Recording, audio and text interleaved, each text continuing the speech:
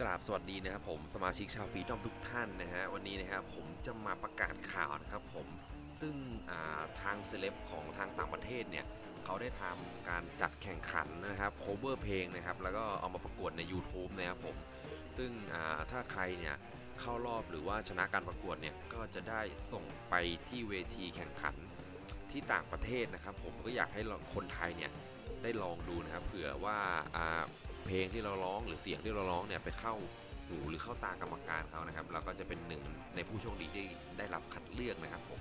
ก็เดี๋ยวผมจะแปะรายละเอียดลิงก์นะครับผมของในกระทู้เนี่ยเนี่ยลงไปในคลิปนะฮะแล้วก็กดเข้าไปอ่านวิธีการสมัครนู่นนี่นั่น แล้วกดเข้าไปฟังอ่าคนที่จัดคนที่ What's up, everyone? It's Ryan Seacrest here. I'm ex- อ่าเปิดแล้วก็ลองดูลองฟังดูนะครับว่าเขาว่าอย่างไรบ้างนะ ก็ลาไปก่อนครับผมไปพบใหม่คลิปหน้านะฮะสวัสดีครับ